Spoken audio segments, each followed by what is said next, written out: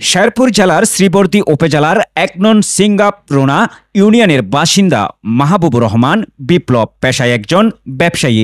নিজ অর্থ ব্যয় করে বিভিন্ন এলাকায় ভাঙ্গা রাস্তা মেরামত করা যেন তার নেশায় পরিণত হয়েছে।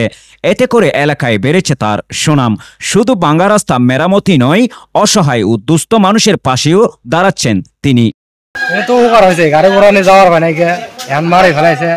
মারি ফেলা তো এলাকাবাসী বলেন বিপ্লব যেন এক মানবতার ফেরিওয়ালা। তার এই ধরনের কাজের জন্য খুশি এলাকাবাসী। রাস্তা দিয়ে গাড়ি ঘোড়া চলাচল অনেক সমস্যা হয়েছে। এখন আমাদের বিপ্লব বিপ্লব ভাই এখানে মাটি দেওয়াতে আমাদের গাড়ি ঘোড়া চলাচল অনেক সুবিধা হয়ে গেছে। এখন আমরা সুন্দরভাবে গাড়ি চলাচল করতে পারতেছি। আছি থাকুন এই বলে আমি আমার কথা শেষ করছি। আল্লাহ হাফেজ। এই রাস্তা দিয়ে আগে চলাচল অনেক কষ্ট হয়েছে। ছোট পোলা পানি স্কুলে এই যে পাশে একটা প্রাইমারি স্কুল আছে বেশি দূরত্ব না কাছেই।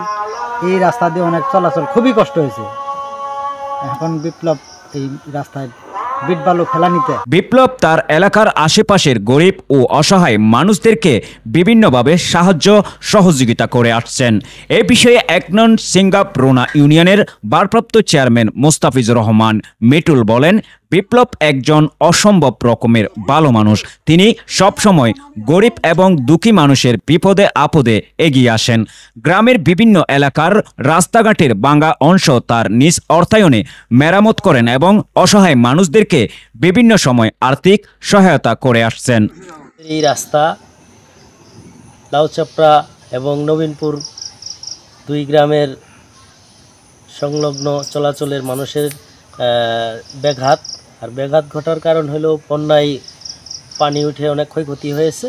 তৎক্ষণাৎভাবে আমাদের ইউনিয়ন পরিষদ থেকে এর আগে যতটুকু মেরামত করা হয়েছে, পরবর্তীতে শর্ট সময়ে তৎক্ষণাৎ করা সম্ভব হয় নাই।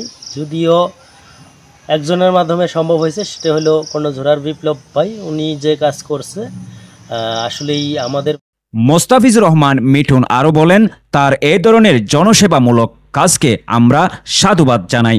এ বিষয়ে বিপ্লবের সাথে কথা বললে তিনি বলেন, আমি আমার এই ধরনের কার্যক্রম সবসময় চালিয়ে যাব এবং তিনি তার পাশাপাশি সমাজের সকল বিত্তবানদেরকে এগিয়ে আসার আহ্বান জানান।